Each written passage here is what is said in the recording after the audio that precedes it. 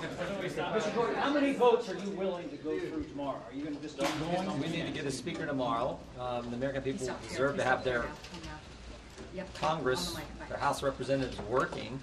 Um, and we can't have that happen until you get a speaker, so we need to do that. Plus, we need to be helping Keep our, going our over and dearest over friend and colleague, uh, or, or dearest friend and, and closest ally, uh, I- Israel. We need to help them as well. Keep going only- over and over again.